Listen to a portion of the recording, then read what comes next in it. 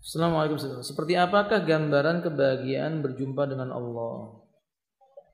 Akhwati azani wa yakum. Hadis soal adim.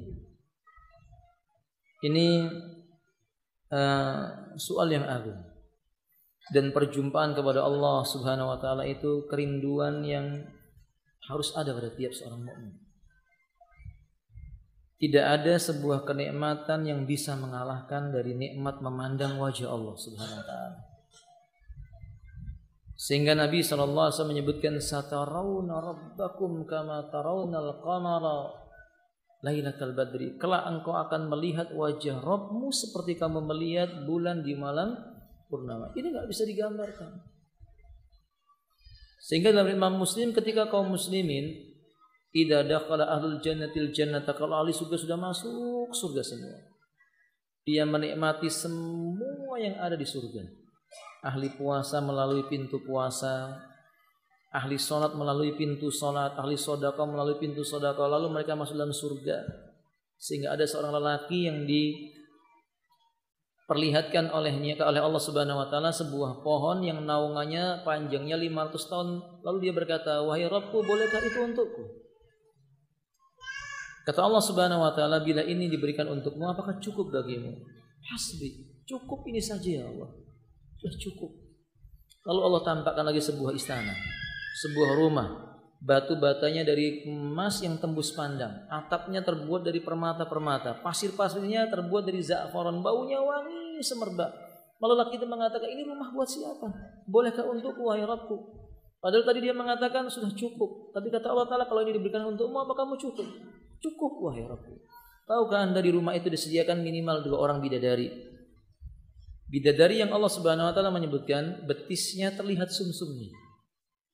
Maksudnya sangat amat indah sekali. Jika diturunkan ke dunia, seluruh wanita di dunia dikumpulkan kecantikannya tidak akan sanggup mengalahkan betisnya. Itu buat ahli surga.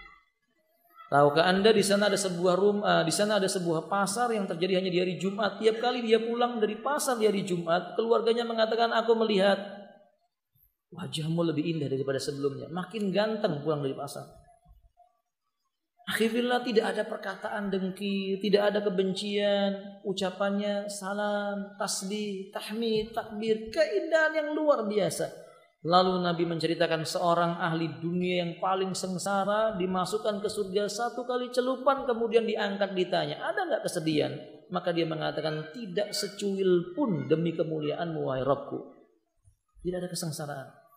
Dengan begitu kenikmatan yang ada, lalu Allah menampakkan wajahnya di hadapan hambanya. Seluruh ahli surga memalingkan pandangannya kepada Allah Taala. Kenikmatan yang paling nikmat hilang seketika itu karena kalah nikmat dengan melihat wajah Allah Taala. Ini kerinduan ahli surga. Dan ikhwati azani Allah kita nggak tahu.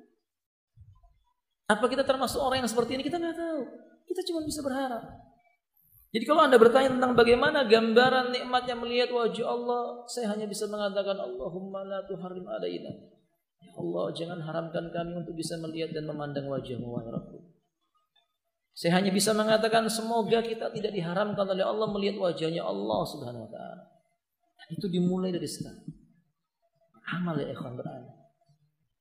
Ini cita-cita tertinggi kita, berjumpa dengan wajahnya Allah taala. Allah mengatakan faman kana yarju liqa'a rabbih falyamal amalan salihah la yusyrik bi ibadati rabbih ahada.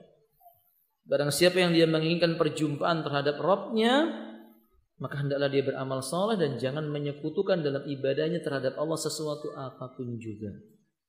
Semoga kita termasuk orang yang dihalalkan melihat wajahnya Allah Ta'ala. Allahumma